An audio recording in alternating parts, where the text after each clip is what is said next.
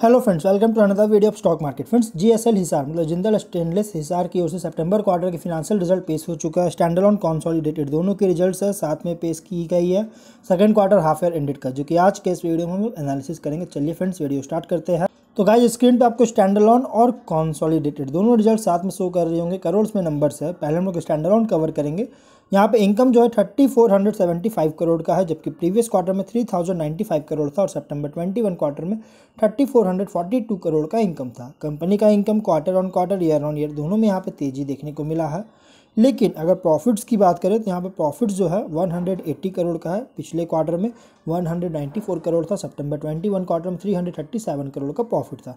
Profits बहुत ज़्यादा गिरावट आ रही है quarter on quarter year on year में बहुत ज़्यादा प्रॉफिट्स में गिरावट देखने को मिल रहा है बिकॉज़ ऑफ़ एक्सपेंसिस जो कि thirty two hundred, thirty two crore का एक्सपेंस हुआ है, जो कि पिछले क्वार्टर पिछले साल के कंपेयर में बहुत ज़्यादा एक्सपेंसिस हुई है, जिसके कारण प्रॉफिट्स में गिरावट आई, लेकिन इनकम उतना कुछ खास ग्रोथ देखने को नहीं मिला था।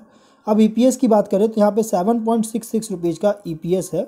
पिछले क्वार्टर और पिछले साल के कंपेयर बहुत ज़्यादा डाउन देखने को मिला। तो गाइज़ यहाँ पे देख सकते हो स्टैंडर्ड में यहाँ पे इनकम बहुत अच्छी तेज़ी देखने को मिला, लेकिन प्रॉफिट्स बहुत ज़्यादा गिरावट आ रही है तो यहाँ पे मिक्स रिज़ल्ट देखने को मिल रहा है स्टैंडर्ड में। अगर कॉन्सॉलीडेटेड रिजल्ट्स को कवर करें तो यहाँ पे इनकम जो है thirty nine hundred fifty six crore का है, जबकि प्रीवियस क्वार्टर में thirty four hundred eighty one crore था। सितंबर ट्वेंटी वन क्वार्टर में thirty seven hundred seventy one crore का इनकम था। कंपनी का income quarter on quarter year on year दोनों में यहाँ पे तेज़ी तो देखने को मिल रहा है बट यहाँ प्रॉफिट्स गिरावट नज़र आ रही है। Two hundred fifty two crore का, और पिछले क्वार्टर में थ्री हंड्रेड एट करोड़ था और सितंबर ट्वेंटी क्वार्टर में four hundred ninety eight crore का प्रॉफिट था।